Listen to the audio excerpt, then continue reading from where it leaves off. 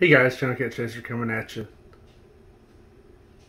Hey, have you guys forgiven or forgot about Springfield Armory's incident selling out the Illinois gun dealers and all that good stuff? I just didn't know if anybody's still got that on their mind or if that's water under the bridge. Leave your comments below. Tell me what you think. I'm kind of interested in hearing about it. Thanks for watching. Keep unsubscribing. And we'll catch you next time. Channel Cat, out.